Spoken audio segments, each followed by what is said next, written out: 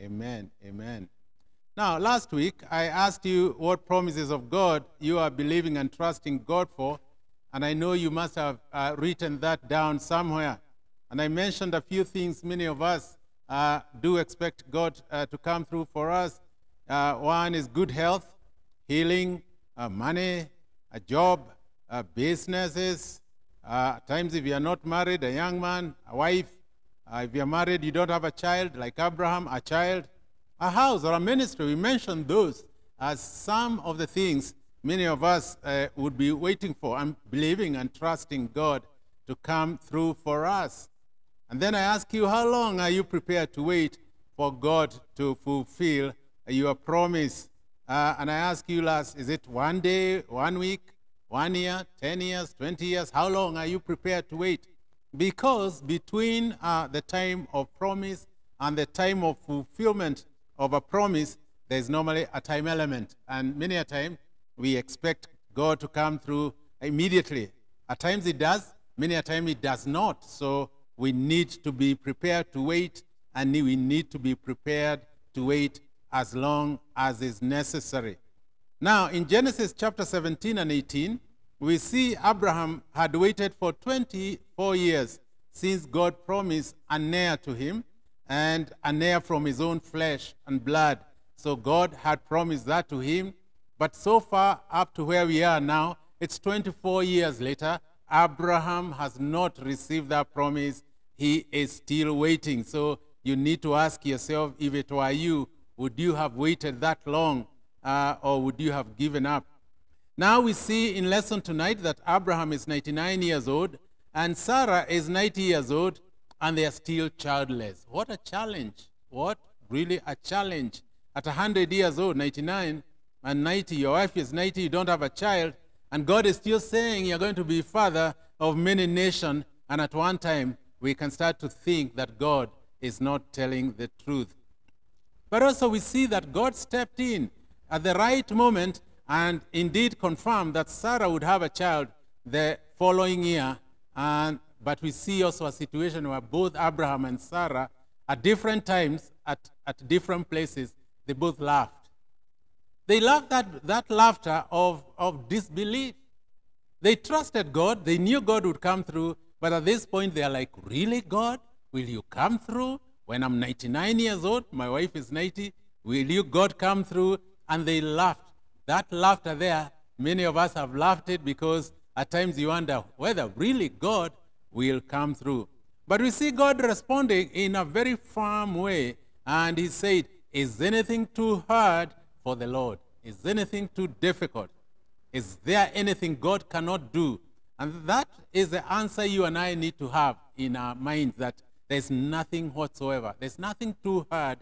It's nothing too difficult for God. If God has promised it, He'll come through. Whether it's 100 years, whether it's 200 years, whatever time it's going to take, Lord God Almighty, this God with whom nothing is impossible, he is going to come through because he is powerful. And our key lesson tonight is true faith trusts the Almighty God to fulfill all his covenant promises to his people no matter what. True faith trusts the Almighty God to fulfill all his covenant promises to his people no matter what. God will fulfill his covenant promises to his people no matter what. And true faith needs to believe that. I have to do two divisions. The first division is God confirms the covenant, Genesis 17. God confirms the covenant, Genesis 17. And the second division is God confirms Isaac's birth. God confirms Isaac's birth, Genesis 18, verses 1 to 15. So, two divisions God confirms the, the covenant, and God confirms Isaac's birth. So, let's go to the first division there. Look at God confirming the covenant. Of course, God had already given this uh, promise to Abraham actually three times in Genesis 12, Genesis 15, and Genesis 17. Uh, the way we are, God is repeating it, meaning that God has not forgotten. Many a time when we read the Word of God and we see repeated scriptures giving us promises, it's not redundancy, it's God emphasizing that His promises must come uh, through. And now we know it's about 13 years have passed between Genesis 16 and 17. Remember last week where we were? Where God was talking to Abraham. Remember the circumcision, where Abraham was told to circumcise everybody. Now, between where we ended last week and where we are today, uh, we see that there are 13 years that have passed between Genesis 16 and 17. And during those, those years of silence, uh, we see Abraham and Sarah must have believed that Hagar and Ishmael and uh, uh, must have solved their childlessness issue. Last week, actually, is where we saw Hagar was in the desert and uh, uh, met God in the desert and was promised this child called Ishmael. So we see what is happening here now. 13 years later, nothing has happened. And we see that Hagar must have shared how God must have met, him in the, met her in the desert and rescued her and told her to go back home and submit. So Hagar must have enjoyed telling that story. I, I met God, and God told me to come back. And God told me I have a child. He even told me to name that child Ishmael, and Ishmael means God hears. So Abraham and Sarah must have figured this must be then the son of promise. If God has already intervened and told this uh, slave girl to come back, well, I think that's confirmation God, uh, this is the son of the promise. Meanwhile, in those 13 years, from the time of conception of Ishmael up to now, Ishmael had grown into a young, fine man. Now he's a teenager, and uh, this again must have led Abraham Sarai to believe that really this indeed was the son of the promise. Now, 13 years later. But then again, as we'll see tonight, God stepped into the picture and he comes in to repeat the same thing he had said even before. So today in verses 1 and 2, we see of Genesis 17, we see Abraham was 99 years old, uh, and the Lord stepped in and said to him, I'm, I'm God Almighty, that is Jehovah El Shaddai.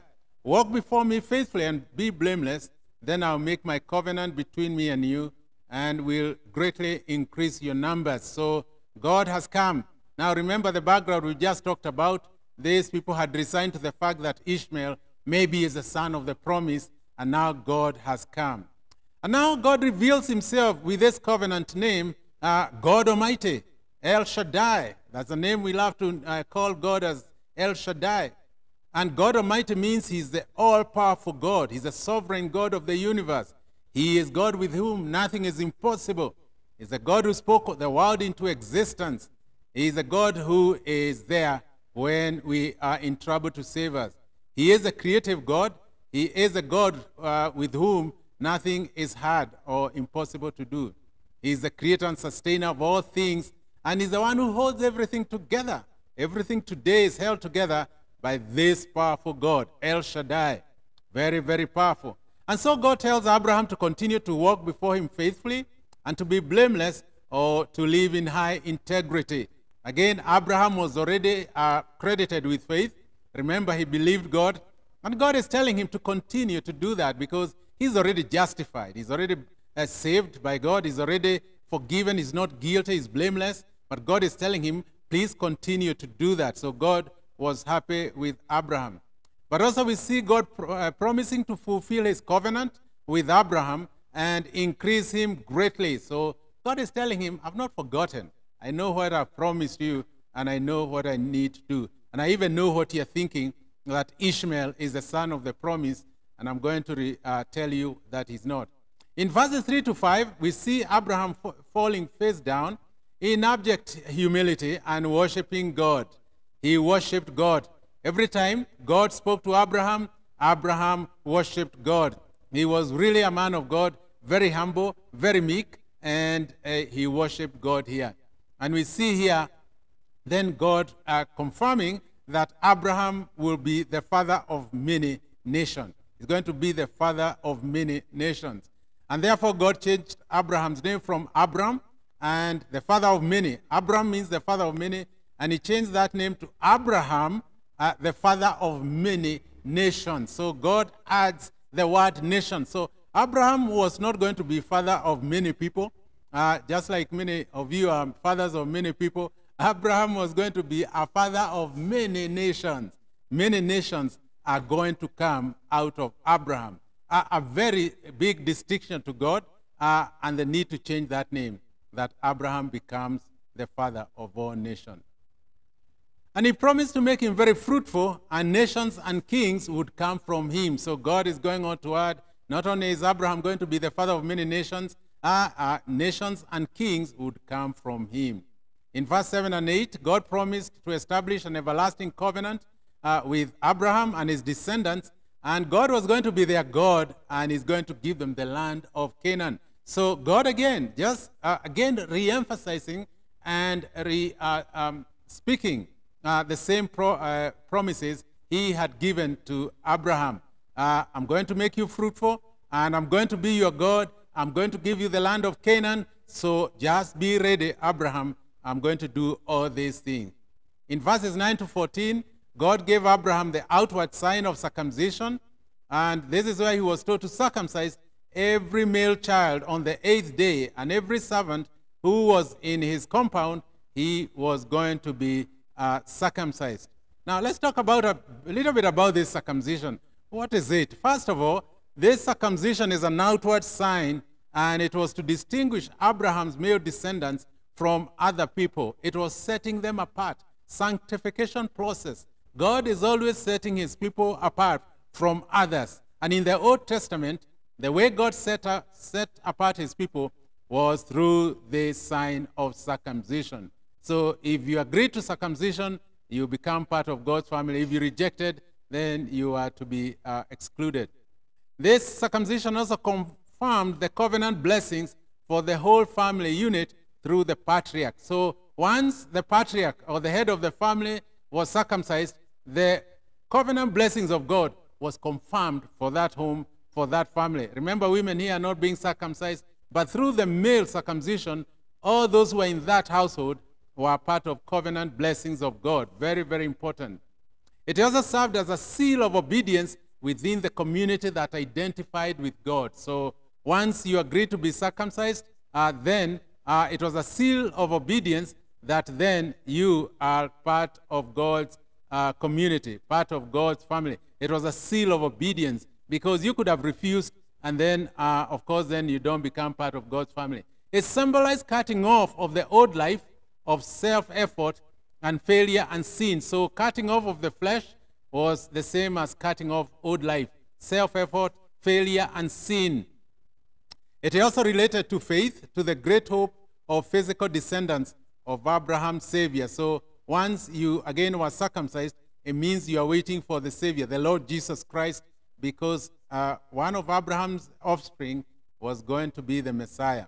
Now, if a person did not uh, accept to be circumcised, then of course that person was, uh, would be cut off, thrown aside, uh, just like the foreskin of the male organ is thrown away. So it was serious business. So you are either in or out. And if you wanted to belong to God's people, then you had to undergo this sign. Again, to emphasize, this was an outward sign of what God was doing inside.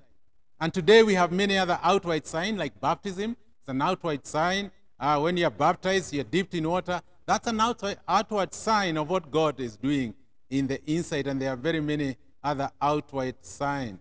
In verses 15 and 16, we also see God changing Sarai's name uh, from Sarai, which means pr princess, uh, to Sarah, again, mother of many nations. So Abraham and Sarah, their names meaning many nations. Mother, now here she's mother of many nations. And God said he would surely bless her and would give her, and she would give Abraham a son. Now you remember there was a confusion before because God had told Abraham the son would be from his own flesh and blood. And because Sarah was not mentioned, uh, Hagar project came into being because the reasoning was Sarah had not been mentioned. Now, here God deals with that confusion. Here God says uh, Sarah would have a, a child. Uh, Sarah would bear Abraham uh, a child, and that is the son of promise. And so Sarah would be the mother of many nations, and kings of people would come from her, just like Abraham. So again, God is lining up everything and now it's very clear that it's both Abraham and Sarah who would bring forth this son. Verse 17 and 18, we see Abraham falling face down. And at this point, Abraham now, in an act of disbelief, he laughs and say to himself, now he's talking to himself, you need to know that. He's talking to himself.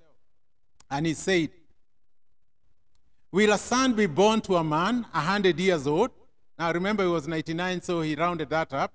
Will Sarah bear a child at the age of 99? Okay. And Abraham said to God, If only, now this is spoken now, if only Ishmael might live under your blessings. Amazing.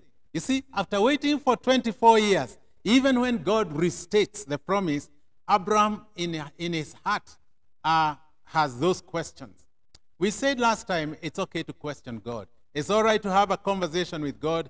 Here, Abraham is actually only speaking to himself in utter disbelief, and he's asking, Is it possible at 100 for man, at 90 years for woman, to have a child? And then Abraham, being very practical, he tells God, ah, Please, God, just bless this son of ours called Isaac. And you see how God responds to this. But God said, Listen to God. God said, Yes. So remember, Abraham had not spoken, he was just reasoning in his heart. But see what God says Yes, but your wife Sarah will bear you a son, and you will call him Isaac. Uh-huh. Amazing. Isn't God amazing? He tells him even the name of the son who will be born. His name, you will call him Isaac. And God goes further to say, I will establish my covenant with him as an everlasting covenant uh, for his descendants after him. So God confirming, Sarah, yes, we'll have a child at 90. Yes, Abraham, you have a child at 99, 100. And you'll name that child Isaac. You see, the more we have a conversation with God, the more we engage with God's word, the more things become clearer, the more God is able to clarify. If today you are in doubt about an issue, something, please talk to God because God will continue to clarify issues until it's very clear to you. Tonight, not only is Abraham knowing he's going to have a child, uh, he knows the name of the child chosen by God. But we see also additionally, verse 20, God promised to bless Ishmael and make him fruitful because, of course, Abraham had asked, and what about Ishmael?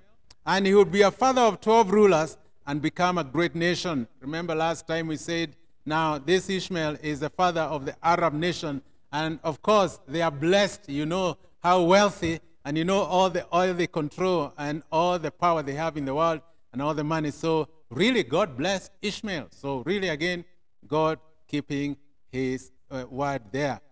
But God covenant, God again going on, but my covenant would be with Isaac. Uh, and Isaac, by the way, means laughter. Sarah would laugh. Remember, both Sarah and Abraham laughed. Uh, that sarcastic laughter. Now, for sure, they, they will laugh with joy, laughter of joy, because they've gotten this child of the promise. And, uh, and God also God adds something here. Uh, this Isaac would be born by this time next year. So again, not only do they know the name of the child, uh, they know that, that child is going to be born in one year's time. And we are told here Abraham believed God and circumcised every male in his household, actually, including Ishmael, including uh, Abraham himself, he was circumcised. Uh, we had a conversation with leaders on Saturday, and they were wondering who circumcised Abraham. Uh, we are not told in the Bible, uh, but those of you who are creative, you can start to research and find out who circumcised Abraham, because we know Abraham circ- circumcised everybody else, but who circumcised uh, Abraham? Uh, that is your homework. Find out. Uh, and it's not written here. It's not important, but just in case you like uh, uh, lifting heavy weights, that's one you should uh, lift. Find out who circumcised Abraham. Now, let's talk a little bit about covenant because we see here God again coming through to, to fulfill this covenant with, with Abraham. What is covenant? Now, in verse 2, we see the Lord God Almighty told Abraham to walk blamelessly before him, and he would establish a covenant uh, with him and multiply his uh, descendants. Now, a covenant is a promise of God made to an individual or a group of people and is frequently accompanied by a sign. So it's a promise. A covenant is a promise uh, to an individual or a group of people. In this case, God's covenant was with Abraham, between God and Abraham. Uh, a covenant can be conditional or unconditional. An example of, an of a conditional covenant is God's covenant with Israel. In, the, in this covenant, God promised to bless the people of Israel if they obeyed his commandments. If you go to uh, Exodus 28, you can see that Exodus 28. Exodus 28, Deuteronomy 28. Deuteronomy 28, you can see that covenant where God is saying, if you do this, I'll do this. If you do this, if you obey, all these things will happen. If you don't obey, all these things will uh, again happen. So a conditional covenant is always, you must do this for God to do this. An example of an conditional covenant is God's covenant with Abraham. In this covenant, God said he would make Abraham into a great nation, and all the people of the world will be blessed through the offspring of Abraham. And there was nothing for Abraham to do, uh, just to believe. And uh, that was it.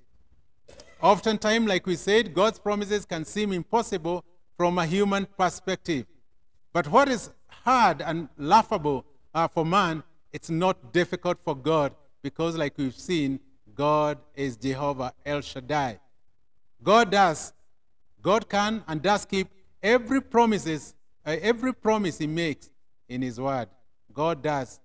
Uh, he keeps every promise He makes in His Word. And this brings us to our first principle. The Almighty God can be trusted to keep His Word and grow our faith the Almighty God can be trusted to keep His word and grow our faith. God can be trusted to keep His circum, uh, to keep His covenant, to keep His promises, because He is the Lord Almighty. Abraham trusted God, circumcised all his men by faith, and God kept his promises. Now, what promises of God are you holding on to and what outward act of obedience show that you're trusting God to keep His word? We've talked about many, many, many uh, promises me and you could be waiting for God to fulfill. The question here what outward acts of obedience uh, are there to demonstrate that you're trusting God? It's one thing for you to expect God to do something, it's another thing for you to act uh, outwardly like God is going to do, uh, fulfill that promise. Abraham circumcised everybody.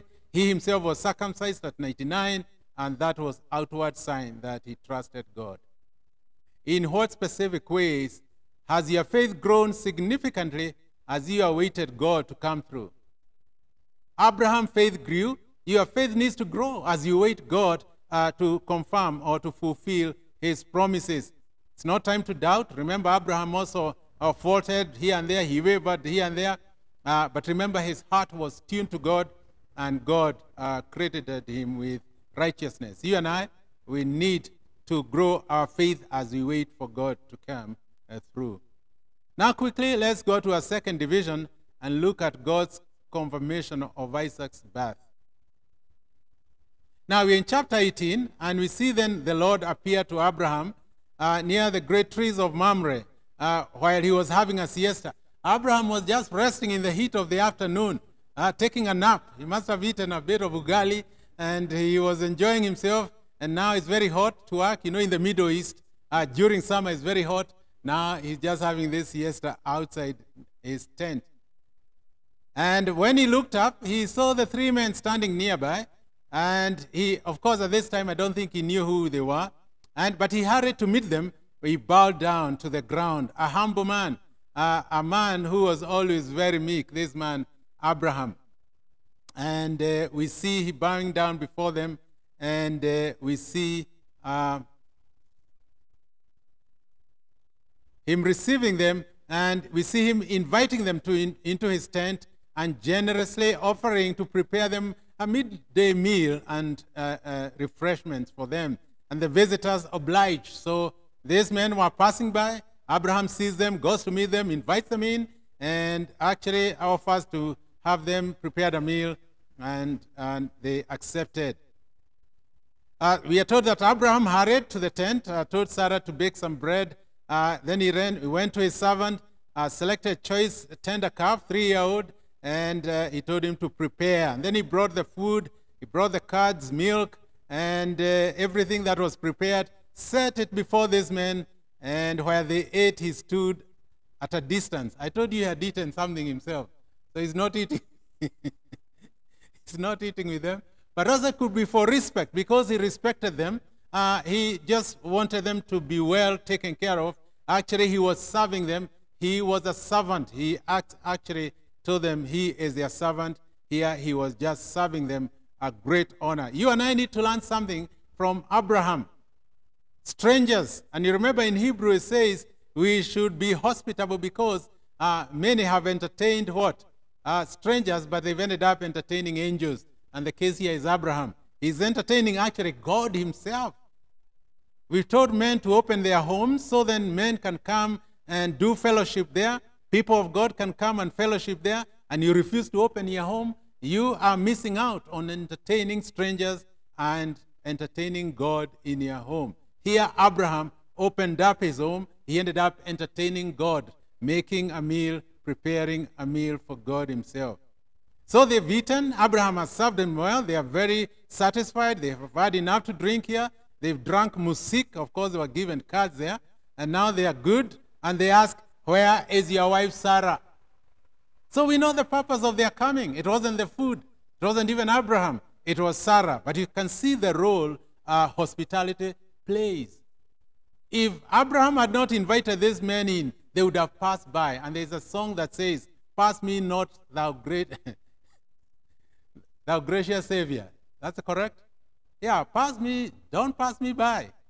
And you and I need to be very, very careful because many of our blessings have passed us by because we failed to see the opportunity. The time of our breakthrough came and passed by because we were not focused. And we thought our people who wanted to come and visit with us, maybe they're just coming to give us a headache.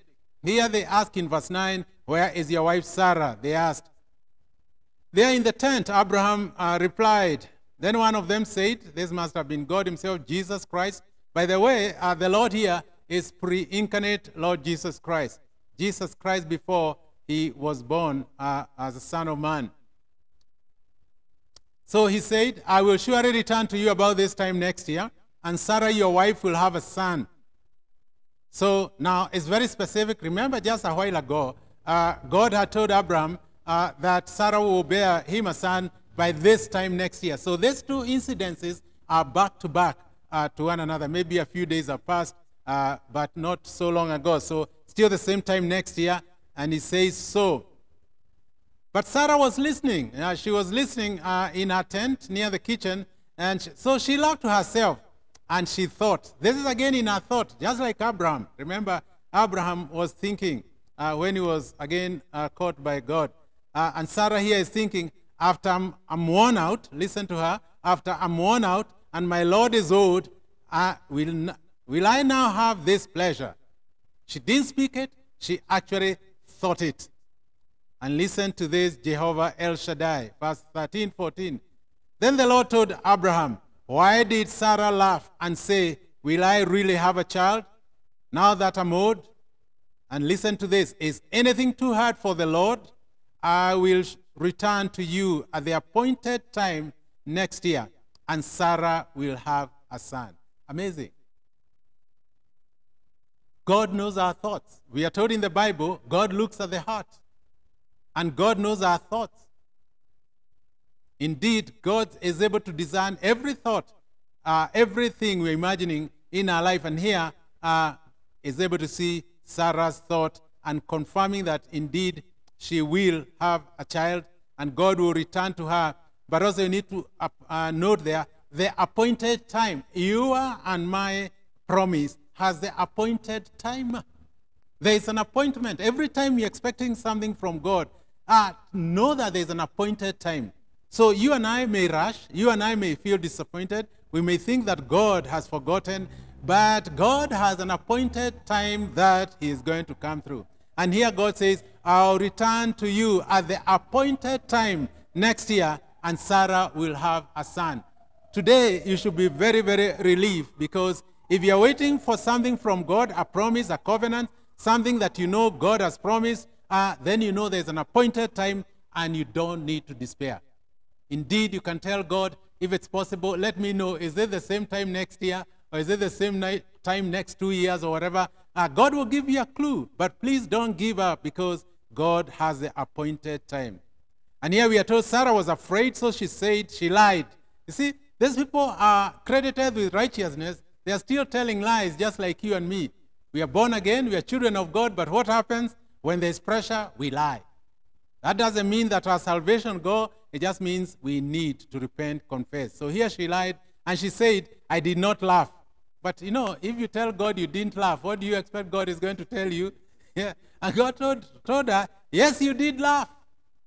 Now, remember, it was in her heart, so this must have been very strange for her because then at this point she must have realized, really, this is God. This is Jehovah El Shaddai. This is a God who discerns the thoughts uh, in her heart. And she said, Yes, you did laugh. She was afraid. This brings us to our second principle. The Almighty God can be trusted to keep His word and do the impossible. The Almighty God can be trusted to keep His word and do the impossible. God will always keep His word, He'll always keep His promises, He'll always keep His covenant. There is no word that is written concerning an issue that God will not be, uh, that will not be fulfilled. So we can trust God. We can trust God to keep His word, but also to do the impossible. At night, at 100 years old, Sarah is going, to, uh, Abraham is going to get a child. At 90 years old, Sarah is going to get a child. You and I, we know that if you look at ourselves now, a man is fruitful maybe until some ages of 50 or 60 or thereabout. If you push it too hard, a woman maybe by 30, 40, 45 maybe, if you push issues. But these ones were far beyond 90 years old for a lady, 100 years old for a man. God waited until they would not be able to say it's by their own strength they got the child of the promise. It's a miracle child. And that is what God is waiting for you and I. God is not going to come through if you are going to take credit for anything. God is going to wait until uh, you know it's God who comes through. If God blesses you with whatever you're looking for, God is going to wait until you run out of every possible uh, route or every possible way of getting that promise. Because when it comes through, then you know indeed this was by God's hand. So the Almighty God is able to do the impossibles in our lives. So, what promises of God seem impossible or unbelievable to you? You could be an old lady, an old man, and you're thinking it's over. No, it's possible with God. God can do it. How can you move forward by faith, uh, expecting God to do the impossible in your life? Whatever it is you're expecting God to do, He can do it because He's able to do exceedingly abundantly above. What doubts are you hiding from God? Abraham laughed, Sarah laughed, but God knew what they were laughing. They were laughing, and He confirmed their doubt. You and I, if you have any doubt, take it to God, and God will confirm that your promise is on the way. What may change if you trusted God and you trusted God's promises? Of course, if you trust God and His promises, then you become very confident that God is going to come through, and I pray that is your position tonight. In conclusion, please remember that true faith trusts the Almighty God to fulfill all his covenant promises to his people, no matter what. God will always come through. Let us pray. Father, we thank you for this passage where you are teaching us you are El Shaddai, God who is able to do the impossible in our life. Help us to understand this. Help us to share with those who need to hear this message tonight. We pray in Jesus' name. Amen.